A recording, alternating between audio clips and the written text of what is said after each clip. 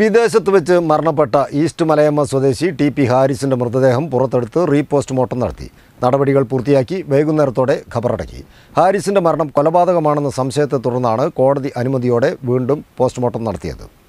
നിലമ്പൂരിൽ പാരമ്പര്യ വൈദ്യനെ കൊലപ്പെടുത്തിയ കേസിലെ മുഖ്യപ്രതി ഷൈബിൻ അഷ്റഫിന്റെ ബിസിനസ് പങ്കാളിയായിരുന്ന ടി പി ഹാരിസിന്റെ മൃതദേഹമാണ് പുറത്തെടുത്ത് റീപോസ്റ്റ്മോർട്ടം നടത്തിയത്.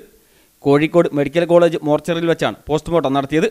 ഈസ്റ്റ് മലയമ്മ തത്തമ്മപ്പറമ്പിൽ ജുമാ മസ്ജിദ് ഖബർസ്ഥാനിൽ മറവ് ചെയ്തിരുന്ന മൃതദേഹം എക്സിക്യൂട്ടീവ് മജിസ്ട്രേറ്റിന്റെ സാന്നിധ്യത്തിൽ നിലമ്പൂർ ഡിവൈഎസ്പി സാജു കെ എബ്രഹാമിന്റെ നേതൃത്വത്തിൽ വ്യാഴാഴ്ച രാവിലെ പതിനൊന്ന് മുപ്പതോടെയാണ് പുറത്തെടുത്തത്.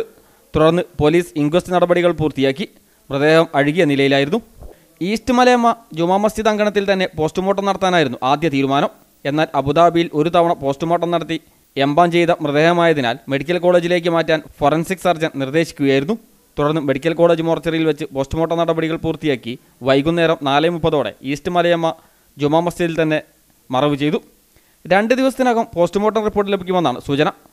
പാരമ്പര്യ വൈദ്യനെ കൊന്ന കേസിലെ പ്രതി നിലമ്പൂർ സ്വദേശി ഷൈബിൻ അഷ്റഫാണ്.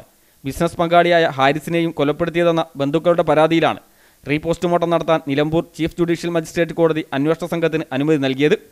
ചാത്തമംഗലം പഞ്ചായത്തിലെ East Malayamma Kuruppanthodika T P ഹാരിസിനെ രണ്ടായിരത്തി ഇരുപത് മാർച്ച് അഞ്ചിനാണ് അബുദാബിയിലെ ഫ്ളാറ്റിൽ മാനേജറായ യുവതിക്കൊപ്പം കൈഞ്ഞരമ്പ് മുറിച്ച് മരിച്ച നിലയിൽ കണ്ടെത്തിയത്.